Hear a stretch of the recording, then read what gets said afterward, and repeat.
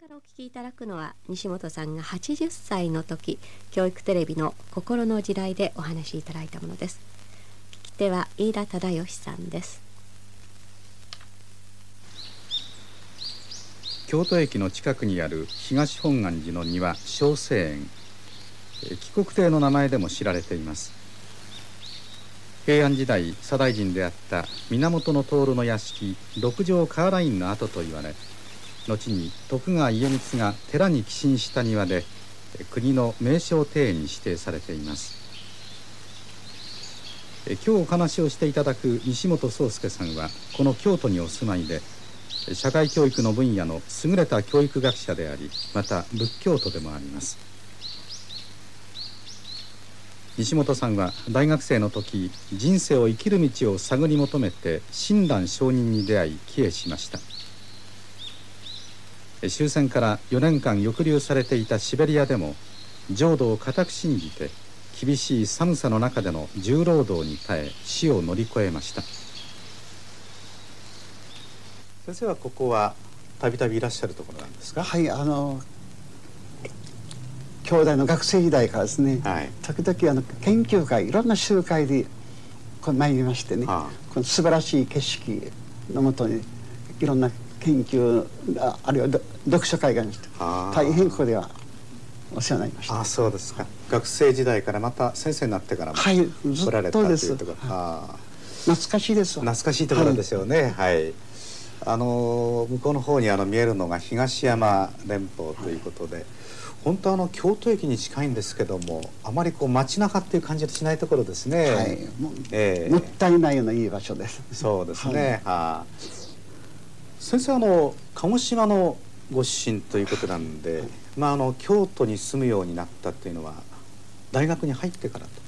昭和4年ですから兄弟に入りましてね、えー、素晴らしい先生方あの京都大学の哲学科の全盛時代ですから、はあ、西田育太郎博士、はい、田辺源松次の先生方おられましてね、えー、そして私はあの致死命量という量に入れて。はあ、どういう量なんですか？ああの片に良太という兄弟の仏教学の教授が、ええ、寮長であります。そのはあ、そのもとに1415名の仲間がおりましてねあの寮寮生でおりましてその中に一人になりまして、はあ、いろんな意味でも圧倒されました。ああそうですか。圧倒されたとはどういうことなんですか、はいいやね田舎もんですからね、えー、京都出てまいりまして偉い先生方優れた友達自分はあの劣っているないわゆる劣等感と申しますから。これは出てくる兄弟に入ったんなかじゃなかったと思ったほどに。ああそうですか、そんなことでちょうど4月の末か5月の初めてしたですね。入って間もなくということですか、はいはい、はあの植物園に参りました、ええ、今あの北の方にありますね。鴨川のことに、はい、であの慰められると思いましてね、ええ、植物に入ったんの中入ったんですけどいろんな花が咲いておりました。チューリップとかねバラとかボタンとか。といろんな花を見ておるうちにもしも花に例えたら自分はどんな花に当たるだろうかと思った途端に一層惨めな感じがいたしましてね。どの花でもない。それでその植物が出てしまいました、ええ、行くところがないもんですからあの鴨川の土手を北に向かってとぼとぼと歩いていった。んで歩きつかえてふと足元見ましたらねタンポポがあったの、はあ、タンポポがね一つつぼみの花咲かせようとしてる。じっと見とりましてあ自分これだと思いました。ダリアでもアネモナでもどれでもない。タンポポだとじっと見とりましてね。であの高田康馬先生のね、はい、小さきは小さきままに花咲きの延べの奥さんの安家を見よという歌がございます、はい、この歌を小さきは小さきままに西本宗介は西本宗介のままにその途端にですね不思議なことには何なんだ仏と申しましたああ何なんだ仏っていう言葉が出たわけです。かとタンポポが小さく咲いている。あ自分だって一生懸命やればいいんじゃないかと。その時に実はね、え不思議なことにお釈迦様のね天上天下優雅独尊、ね、天にも地にも我一人。ええ。自分というのはこの地球ができてから初めて出てきたんだ。自分に変わり者がないんだと。えうん自分が本当に自分になっていくんだこれは小さきは小さきままにということだとこれが私のね京都に入った最初なんでありましてあー。ここで生き返ってねであの自分の寮に帰ってまいりました。あそうですか。あーとその日からじゃあ生活の仕方とかあるいは物の考え方が変わってきたということになるわけですね、そこから変わってまいりましたね、ええそうですか自分が本当に自分になってはいあの本願を信じ念仏申せば仏になるって言いますけど、え本当の人間にねならしていただかにはならない、こういう気持ちを持ったわけあですそうですか。今先生あの生阿弥陀っていう言葉が出たっていうことをおっしゃいましたけどもあの先生は昔からまああ仏教に帰依していらっしゃって特にあの親鸞をですね、えー特にまああ専門に研究もしていらっしゃるということ。先生とその仏教親鸞との出会いっていうのはいつ頃になるんですか、あのご承知だと思いますが徳川時代に隠れキリシタンとあります、はい。同じようなことは鹿児島においては隠れ念仏があったんです。あというのは薩摩藩薩摩藩は約350年間仏教の中の浄土真宗当時一向宗と申します。禁じられていたんです。ねえ。ところが私の先先祖はその隠れ念仏のね中おそうしましてねその中のじじいさん親族のじいさんが私にね教えてくださったんですはい。あの父は早く亡くなりましてうちは貧しかったんです。で大学行くところなじゃなかったんですね。で私はあの鹿児島の第一高等学校第一高等学校を卒業したら、ええ。働くつもりでいたんですね、はい。弟妹が4人おりますから、えこれでところがそのじいさんがですね、えはい。私を読みまして大学に入らないかあでもじいさん金はありませんしでそしてこのじいさんがね何万だとおっしゃるのはねお金は出させていただくって。あはい。金は出させていただくとえでもしゃおあのおお金返せませんよと申しました。一円も返さなくてもいいとえうんだからさっきから、ね、金を出させていただくと言ってるってね。出ささせていただく。あでもそれがあんまりすみませんと申しましたらねえじいさんが「すまんと思うたらねお前な何万だと念仏言え」と。ああありがとうと思ったら念仏を言えと。というのは自分がお金を出すんじゃないんで、ええ。仏様から預かっているお金を出させていただくんだからあちっとも遠慮いらないこの言葉に驚いたんですね。ああそうですか。でもね、ええお念仏はどういうことか分かりませんでした、はい。とそれが分かってくるのはじゃあ七高に行ってからと、七高の学生時代に、ええ。当時は仏教青年会がございましてね、はい、仏教を研究する集まりということなんではい。すかね、仏教を研究したりね、はい。信じたりする団体でありますよね。そこであの明川隼という先生がいます。明けガラス早先生。はい、これは大先生です。えこの明川先生に会ったことがですねこの深い意味を持ってまいります。この先生が教えられたことは何時自らまさに道を求むべしと。えうん。大無量寿経の中にですねあの何時自らまさに知るべしという言葉がありました。は何時自らまさに知るべしという言葉がありました。その言葉を明川先生はねうんどこまでも真実を求めていけよとはい。いう言葉に解釈されました、ああそれはあの自分をはっきりしろ、はい。明らかにしろまあということになるんですかね。哲学的用語を使えばええ。本当にね目を覚ませよ自覚せよと。はあそうですか。自分を本当に知りなさいと。ええ。とことんまで道を求めていきなさいと。はい。この言葉に心打たれました。ああそうですか、大学では特に先生が影響を受けた方っていらっしゃいましたですか？いろんな先生方の影響を受けましたがねええ。もう一人挙げますならばあの足利上演という先生です。足利上上演演さんはい。この方にはどういうこの先生にはですねえ難しいこと一人の仏阿弥陀仏一物ほ仏に帰依するってことはね一切のね仏に帰依することになるんだと。はあ一一物に帰依することは一切物もろもろの仏に帰依することになるんだと。はい。非常に広いお心が要するに他のものを否定しないで肯定するということですね。はい。な一物に帰依するがゆえにえ一切の仏からも守られているし一切の仏に帰依することになるんだと。あ非常に広いお気持ちですね。えで特にこの先生からね私拝まれました。ああそうですか。はあ。そう拝まれたっていうのはどういうことなんですか？これどう不思議なんですね、こええ。この先生から私西本さんって言われたことないんです。学生時代から。なんて呼ばれた。西本先生。先生と。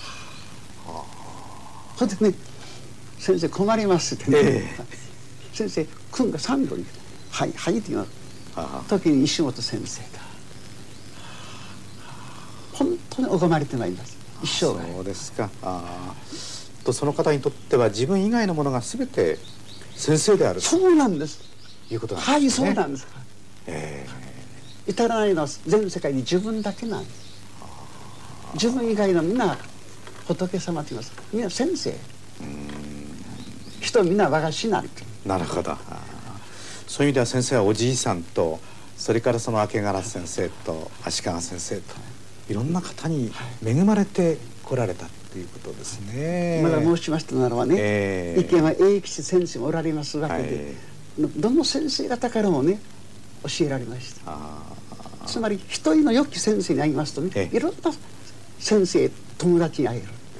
これこれが人生の大事な点だろうと思います。そういう中からまあ今あのいろんな方があいい言葉を先生に影響を与えてくれました、先生はそういう中からですね信心で得た先生なりのこのお気持ちとかお言葉っていうのはあるわけですか、それはですね、えこの高等学校に入ってからですね何のために生きているかが問題だったんですよ。何のために生きているか。あで出てきたことは幸福ですよね。幸福はい。ええ。勉強するのも幸せになるために、はい、いい暮らしをしたいとかですね、はい。いい偉くなりたいとか、はい。幸福、ええ。幸福とか思ってるんですねところがその幸福は自分の幸福なんです、うん自分の幸福。人の幸せはない。で幸福幸福と思ってきたんですね。その時に当時あの日本のマルクシズムの、ね、台頭時代でありました。はい。で社会主義の友人からですねお前はこの信仰とか宗教を言ってる。自分の幸福しか問題してないんじゃないかと自分たちはね日本のこの貧しい人々が本当の人間になるためにはね自分の幸せを超えて親が何でも仕方ない。本当に真実を求めていくことこの言葉に心打たれた。我々誤っていると思いました。あさあそこでね、はい。そこで私は幸福を真実と思ったんです、ええ。真実を。ところがねやっぱり本音は自分の幸福を求めてやまない自分がある、さあそこでですね、あはい。本当の真実は何かと。真実は如来仏様だと、ええ。真実とはあ何万打仏だうん。ということをね真に教えられた。あでだから私において信心ということは石本よと。あはい。幸福を死し幸福を捨てて幸福に死して真実を求めて山ざれと。こういうことだ。幸福を死して幸福に死して。幸福に死してはい。幸福をやめてやめてねね断念して。え真実を求めていけたそれが如来のね呼び声。ああそうですか。石本よと。とそれが先生のずっとそれからの生活の心情でもあるということになるわけですね。どこまでも幸福も求めてやまないええ。浅ましきボンだから幸福を求めやまないってことが至らないボンうん先生あの社会教育を、はい。まあ、専門にされたということで、まあ、社会教育の中でもその家庭教育っていうのがはい。今大きな問題になってますけれども、子どもの置かれている環境っていうものがですね、えーだいぶ最近変わってきてますですね。えー。それはね、ええ家庭教育力の低下という問題ありますね。はい、一番の現象を申しますとね、えこれは世界的な問題でありますが父親の権威の低下ですね。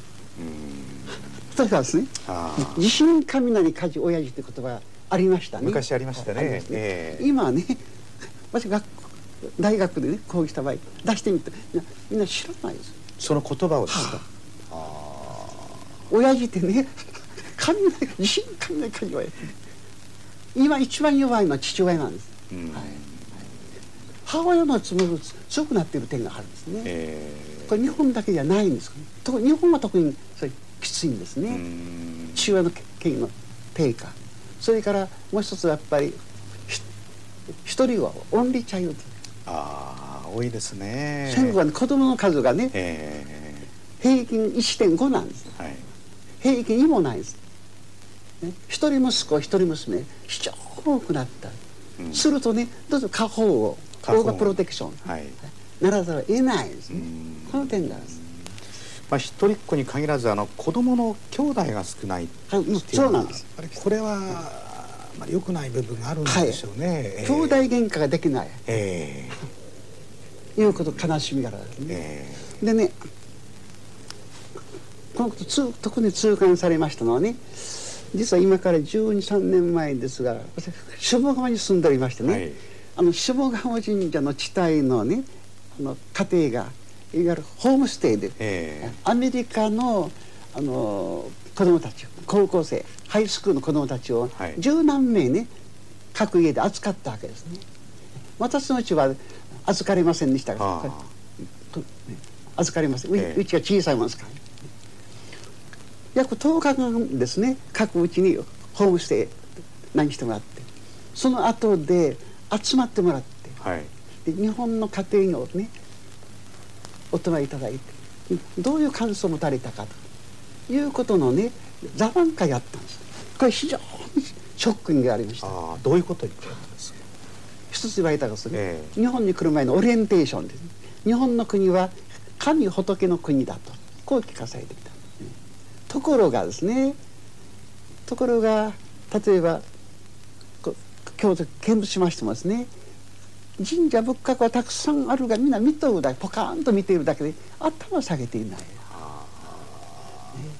自分では考えられないことだ。ん。これは一つ。それからね日曜日ですね。え。日曜日日本ではね朝寝する日じゃないかって。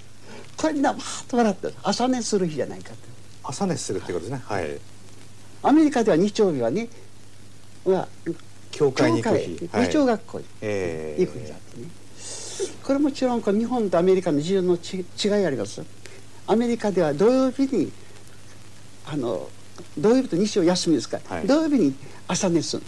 日曜日は教会に行く日なんですね。日本人はね土曜日に働いておりますから日曜日に朝寝する。ここうなるんですがね、え。アメリカの子供たちはね日本には宗教ないんじゃありませんあ。ご飯いただく時でですあからね、えいただきますね。言葉う言ううちはまだいい方で言わないじゃありませんか、うん。これ一つ。もう一つ大きなことはですえねアメリカから日本に来る時はね亭主関白という言葉を聞いてきたんですね。あ向こうでですか？はい。男尊女卑で、ええ。亭主関白、えとかね各口止まってみて感じてねお父さんの影がないと。えあ。いないと。日本の、ね、男性はね日曜日も働くんですから。うん働くね。お父さんの影がない。うんむしろ日本はね亭主関白なくて母親関白だこれは本当そう言われたんです。みんなねシュンとなった。んですここに全ての戦後の、ね、家庭教問題点が出ているかもしれない、ええ。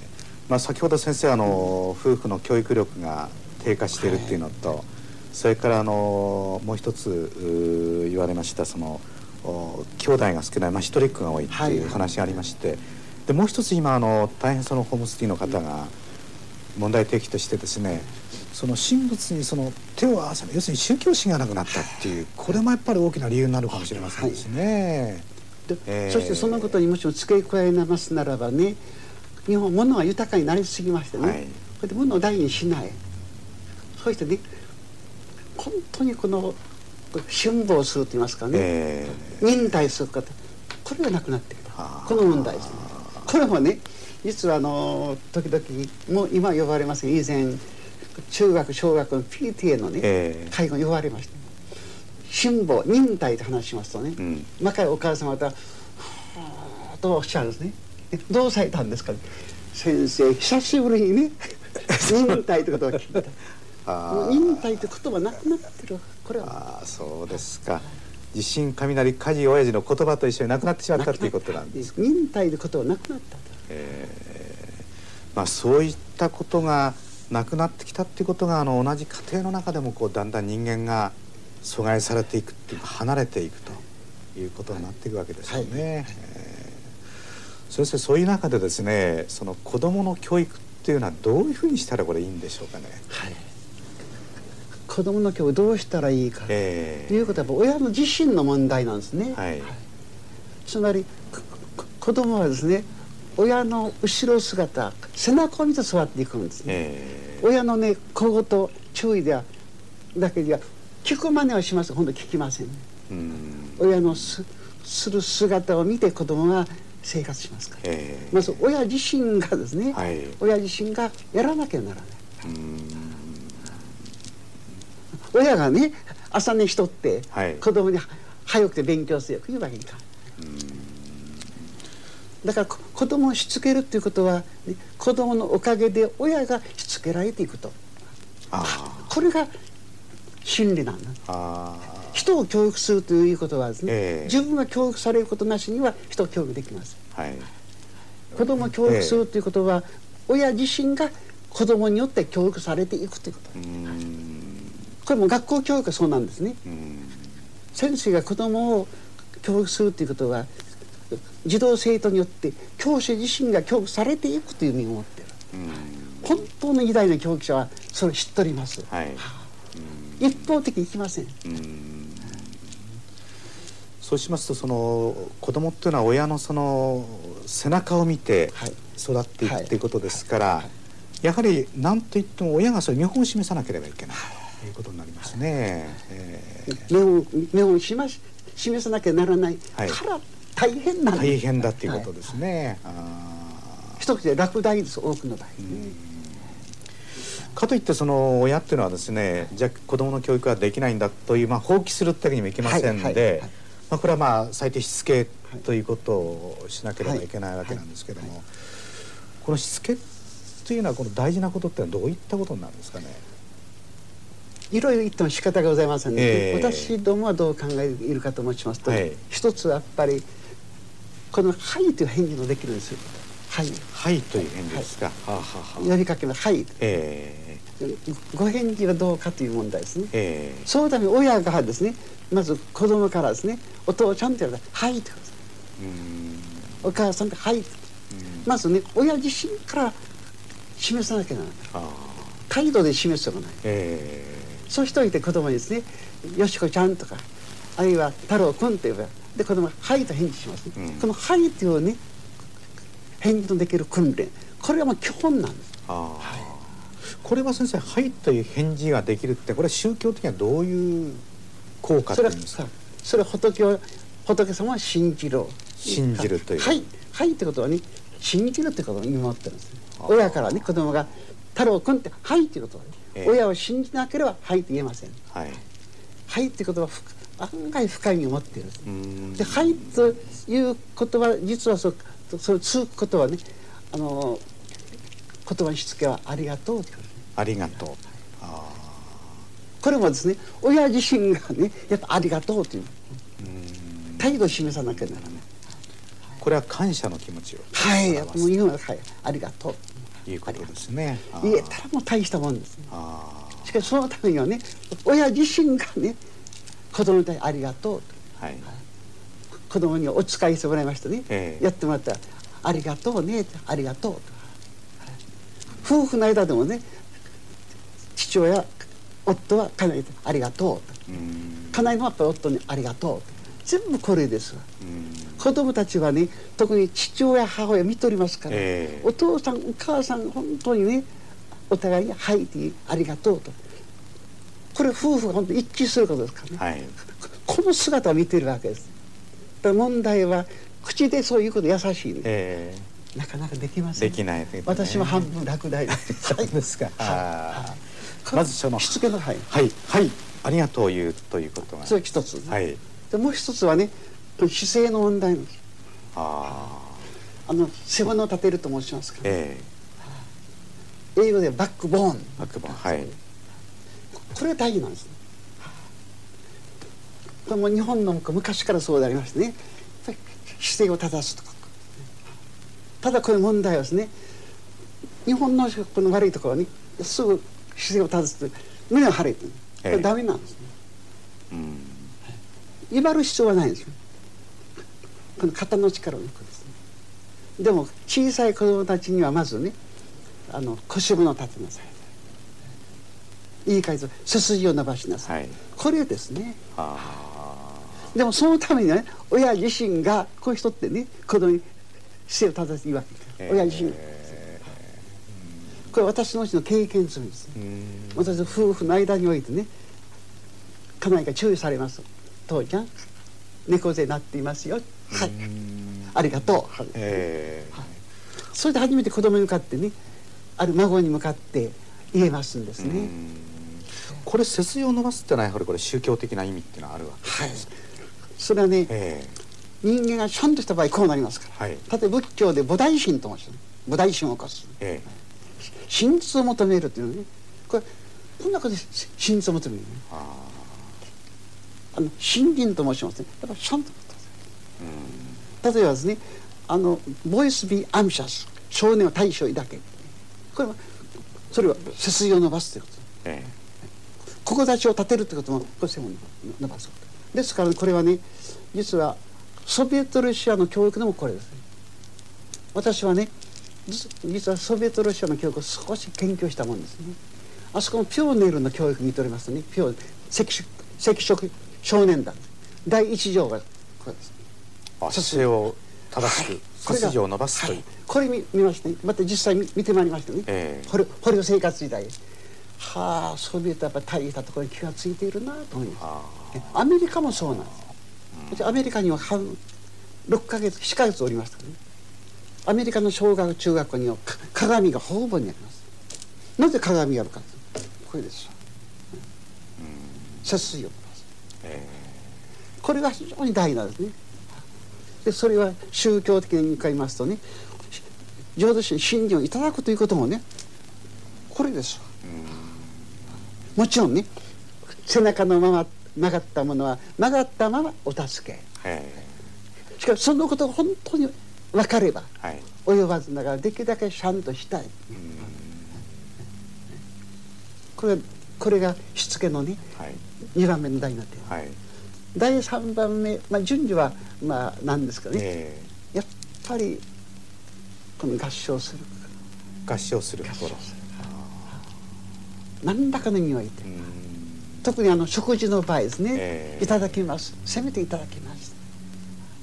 えあのいただきます。ねなんかうん第一にひぬかづくようなねぬかづくような、あの気持ち。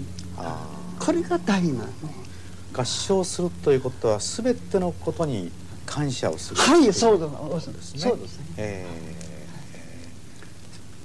仏様神様に感謝するっていうことは同時に、全ての人様に感謝する、えええまたそれはまた自分を知るということではいそうでます。ありますはい。ね、本当そうです。仰せの通りでございます。ああそうですはい。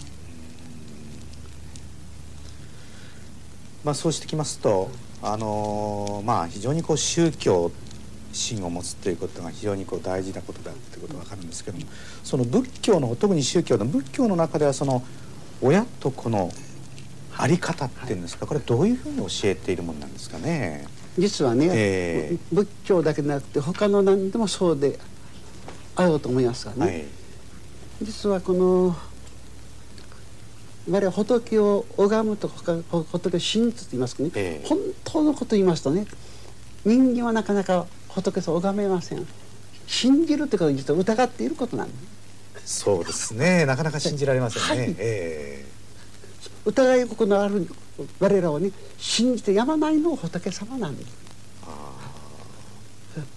我々は仏様を拝んでいるんじゃなくてね今後で昔からね現在に至ります、仏様が我々を拝んでおらん。はい。信じておらん願いもかけておらん。えそのことに気が付くことを信心という。その気が付くことは何万打仏と言おうと、ええ。と私はね教えられております。あでね先 のことに移りますが家庭教育で大事なことは何かと言いますと親が自分の子子供をね、え密かに拝むことなんです親が子供。はい。それはねじ事実そうなんでありましてね、え私どものこここれ私今日か鹿児島でございます、はい。私の親もやっぱり私は拝まれてまいりました。えはあ。私は青年時代ですね。よく病気しました、えうちの母は仏様を拝んでいるんだなと思っていたんですね。ふと気がつきますとね。私の思いと拝んでるんだそそれは私だけじゃないんですねあの友人たちもそうです。えうん。あの親は子供を拝んで育てていくんです。密かに。え子供たちは気がつきませんがね。えうん。子供って言いますと親は親によって拝まれながら育ってこれ昔昔伝統はそうなんですね。特に仏教特に浄土親鸞の教えはですね我々は仏を拝むんじゃなくて仏様から拝まれ同士なんて。ええ。そのことに気が付くことが信心なんだ。から信心はね、はい。自分の信心じゃなくて、ええ。仏様からたまれたる信心だ。ということはまあそのいわば逆説みたいなものですね。我々はまあ、まあ、正面からはい。行くわけですけども、ということは我々っていうのは親っていうのは子供を育てるものだっていう意識があまりにもありすぎますですね。子供を育てるっていう意識は大事なんですがね、はい。その底にあるのは子供のおかげで親になっている。なってる子供のおかげで親になってる。しかも子供はねご先祖からの預かり物だというねこれはあの中井当時とか貝原一賢というね徳川時代の日本のね大教育者はこれですわ。なぜ教育が必要なのなぜ子供を育てえご先祖へのご恩返しなんそう思って子供を育てさせてもらってるんだっていうなりますとまた親としても気持ち的にやはり子供の接し方が変わってきますですね。ええしかし先生そうなりますとね、はい。あの子供を教育するというものはこれは親でなくて仏である本当はそうとないんです。うことにな本当はそうなんです、ね。え本当はそうなんですえあ本当はそうです。そその仏様なさるお仕事をねある意味でお手伝いさせていただいていると。こういうことが本当でしょうね、ええ。まあその前の仏っていうのはまあ神羅万象っていうふうに言い換えてもはい。い。いかもしれませんですね。はい。神羅万象、ええ。でもそういったやっぱり観念的になりますね、やっぱりそれはその神羅万象の具体化されたものが阿弥陀仏なんで阿弥陀仏。また阿弥陀仏いうだけのまだねええちょっとややあります観念的ですええ。だからそれがねそれが何万陀仏何万段ですである。ということはそれは周りのその人を取り巻く全てのものというふうに言い換えてもよろしいわけですかね。ええ。そうなんですね、えでもそこや理屈になりますとね、はい。何万だと理解一番すするいいいい手がかりは、はい。あの子供たちのあのお母ちゃんのお母さん、えはい。あのお母さんお母さん。あれと何万よく似てるんです。ああ。それをおお母さん。お母さんね、はいえ言いますね、ええ。あれは難しいけど親心とか母性愛とか親心というはい。また観念的なんですね。それが具体化されたものがお母さんあの母ちゃん。あの母さんという呼び声は子供が親を呼ぶ声のようでありながら、うん。母さんはおクオンの親お親の呼び声なんです。えうん。あの母さんって言葉はねは赤ちゃんの発明じゃありません。あのお母さんって言葉をずっと遡っていきますと親の呼び声になっていきます。親のよお母さんがしてやるかでね。え。お母さんっていうのは子供の親を呼ぶ声のようでありながら親の子供を呼ぶ声なんです。ん。お念仏はそうなんです。なるほど。あのさっき先生言われた要するに我々が仏を信ずるんじゃなくて仏が我々を信ずるということが大事なことである はいはい。ということになるわけ仏様がですね信じていてくださる、えそれを難しい如来本願と申しますね、えはい。うん。本願といってもまだ観念的ですから、えそれが言葉になってね、はい。呼びかけてくださるのが何万だろう。うん。だからさっきの甲斐真理子先生の「うん。御仏を呼ぶ我が恋は御仏を呼ぶ我が恋は御仏の我を呼びます御御恋なりけ」うん。仏呼び恋。ええ。このことに気が付くことがね宗教の基本だと私には思いますね。まあ、いろいろ伺ってきましたけども先生その教育をするときにですね一番大事なことっていうんですか？これはどういったことなんでしょ教育大体教育するってことは本当言えば傲慢なんですね。自分っていう人間一人をええ。始末しかねているものがえ人様を教育するに傲慢なんです本当は。ね。はあ教育できない。えうん。だあのヨーロッパでも日本のね本当の大教育者はねこ教育ということは相手を心から尊敬することだ。教育の秘訣ははい。児童生と相手をねええ。尊敬することである、うん。これは例えば、えーじゃあルソーでも、はい。それからペストロッチーノフレイベル、ええ。そそこにある流れはそれですが本当にねヨーロッパの上でキリスト教もですから、子供をこ子供の神を感じて。子供を本当に尊敬そ尊敬する。まあ親が子供を育てる場合にはまず子供を尊敬するところから始めなければいけない。それ密かに、はいうことですね。しかも実際ね本当のね父親母親にそういうことは知らないでやっておられますね。やっております。感じます。え本当に子供はいいことしてくれてありがとうと親が言うとますえー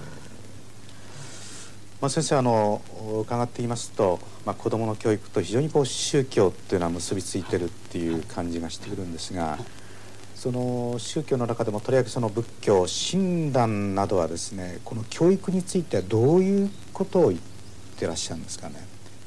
これはあの、ええ。例えば「歎異抄」の第4条あたりに出ておりますんでございましてね、はいええ。その言葉は、まあ、時間かええ。だと申しますね、根性この世において根性にいかに愛おし不憫と思うとも存じのごとく助けか助けがたければこの慈悲始終なし、はい。い、かにかわいそうだ気の毒だって言ってますね、はい。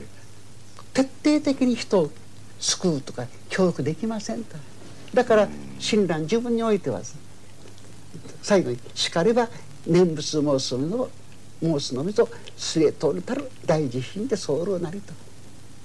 うん、しかれば念仏申す。だけが。だけが信心だけが。はい。本当に自分が救が救われ人が救われていく大慈悲大慈悲心で候あ。ございますと。あこういうこと末通りたるっていうのは末まで貫いていける。最後までっていうことですね。はい貫いて。はい。じゃあその大慈悲とはどういうことかとね、え大慈悲とは信心を賜ることの他に道はないぞと。あそその信心と言いますのもね、うん。一番私にぴったり教えてくださったのが榎本栄一という方の「雑巾の詩」という雑巾の詩です。ああ。それはどういう詩なんですか？雑巾ははい。他の汚れを一生懸命拭いて、ええ。自分は汚れにまみれていると。ええ。こう驚きました。あ雑巾と言ったらですね、はい。我々見下しておりますが、あええそうですね。えその雑巾はねえ他の世の中のあらゆる汚れを一生懸命拭いて、しかも一生懸命っていう気持ちを持たのに一生懸命拭いて世の中を清めて自分は汚れにまみれていく。しかもこの雑巾で何を読んでるかというと仏様なんですね。で雑巾はどんな貧しいうちにもございますし、はい。どんなねお金持ちお家にもございます。ええ。この雑巾がこそ仏様なん。ですということは雑巾は自分が汚れっていうことは仏を自分犠牲にしてみんなを救うと。仏様はね犠牲になってという気持ちも落ちません。それ自分のお仕事だと思いますからね、ええ。は本当に人々を救うことが自分のお仕事なんで。例えば我が身がねどうなろうと。仏教の言葉で言いますとね例えば我が身の諸々の功徳の中におかんとも、ええ。我が行は精進に来て忍んでついに食いに行ってどんな苦労もいとらん。だうん。だから申しますとね仏の仏教の世界は自分だけが極楽に行きたいというのは仏教はないの。え世の中の人々は本当に極楽上生きるのであるならば、えうん。自分は永遠に仏と共に地獄の地でも構わない。これは仏教。でこの心をいただこの心のほかに教育の本当の教育の世界を出てこない。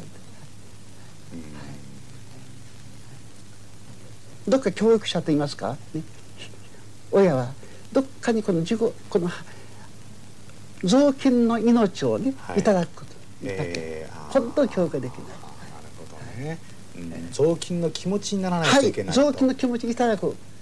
あの雑巾のになれません。ええ雑巾になりません。しかしあの雑巾の尊い気持ちの一端をまあいただくことが信心だろううん。これお念仏世界だった。まあ、自分が、まあ、いわばその犠牲になって落ちてですね他を救うってことはあの先生が最初にご自分の気持ちと言われた幸福に生きて真実幸福にして真実に生きようとこれにこう通ずるところがある全くそうなんですね。ということになるわですね。あの犠牲になるという気気持ちあるあれはダメなんダメなんですあ犠牲になるってやっぱどっかにね犠牲になるという気持ちがある間どっか恨みがあります、えうん。俺ががあります、ね。ーえ犠牲になるんじゃなくてそれが当たり前のことだーうん。これ仏持ちが持たなければいけないということですね。あそしてね臓器になれない自分を知る、ーあーそうですか。自分を知るということなのか。自分を知る。えー、いうことなんでしょう宗教心をいただくということはね、どっかに人を拝む気持ちが与えられるということ。人を拝む気持ちを与えられるということはね自分が傲慢で、本当はやっぱ俺が俺がという根性を傲慢な自分を知るということそのことがええ。宗教心の原点なんです、なるほどね。なかなかね人を拝む気になれません、うん。人を拝めない傲慢な我が身と知るところにこの世界が与えられる。なるほどね。あーまあ自分を知ってそしてあのお子供を例えばつける場合はさっき言われました、えー感謝する気持ちっていうんですか？挨拶はありがとうはいありがとういう背筋を伸ばす合唱するということをおしつけながら相手を尊重しつつはいということが大事相手をしつけるって自分をしつけるってことしつけるということですね。はあはあーそうです。あどこまでもね問ええ題自分ですわ、えーということは自分を知ることからまず始めなければい始けない。しかも自分なかなか自分を知ることはできません。あ永遠にねーえ。無自覚な自分ですから。ーそういうことですね。ということは難しいしまた教育もまた一生の一緒に仕事。を問題だっていうことかもしれませんですね。そうですか。いや今日は本当長いことありがとうございました。こちらありがとうございました。人生読本子に語るもの。お話は京都府立大学の名誉教授であった西本壮介さんでは飯田忠義さんでした。